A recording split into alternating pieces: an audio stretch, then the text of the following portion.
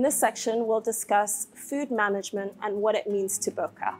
How has this key aspect fit within their broader journey to date and their CSR mission and how it started from this point?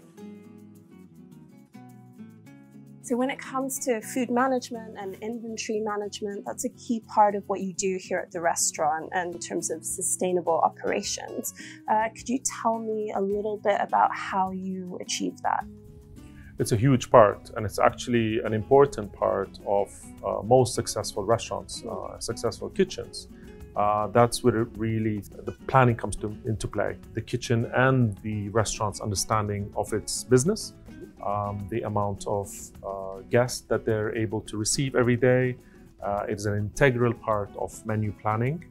So it takes uh, a bit of understanding of how much we're able to uh, receive, uh, the number of guests that we're able to receive on a, day-to-day -day basis, uh, the amount of items on the menu that we're about to sell, uh, it starts from there. And that's when the kitchen comes to play and, and uh, a professional kitchen and a professional chef will come in to do that planning for you.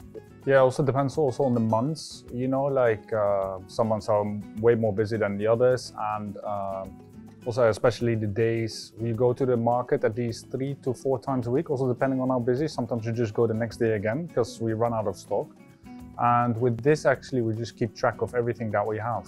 Right. Uh, could you tell us a bit about the Market Availability Board? I mean, it's, it's quite a pioneering concept for, for this region because usually, you know, whenever a guest comes in, it's, you know, whatever they want is usually available. Yes, absolutely. Yes, exactly. We update it every lunch and every dinner.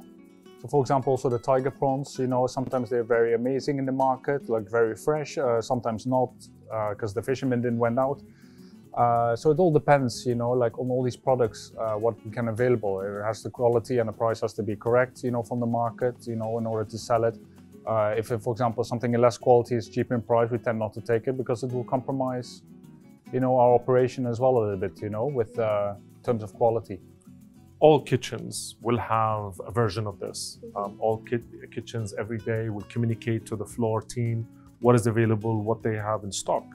Now, the difference is, is that perhaps, like you said correctly, is that in our part of the world, that's maybe unknown and it could be seen as perhaps laziness on the kitchen side of not preparing enough. Obviously, it can be the case if you don't know your business well, but it's really for us, it's a, it's a mode of communication. Um, it's kind of a window into the kitchen and what's happening in the kitchen. We want to make sure that we're only using fresh ingredients that are available in the market um, according to that, that days of, of uh, business. Um, and we want to be clear about that. So we will communicate to the guest that today we only have X number of a certain item because it was available in, in large quantity, or we don't want to end up wasting that or refreezing it or repurposing it in another way. So it's a way of you being transparent with your guests and also kind of turning this communication into an opportunity for storytelling, for example, like this is why it's not available. We've seen there how Boca uses available local ingredients. They also focus on secondary ingredients and reuse the offcuts. They also use preservation methods such as pickling to reduce waste and extend the lifespan of ingredients. They also only use the best products even if they might sell out. The use of the Market Availability Board is used to be transparent and to communicate to guests. It can also be used as a storytelling tool. Finally, doing this doesn't cost them any money, it actually saves them money. It increases the margin of the dishes that they serve and reduces waste, which reduces their waste bill.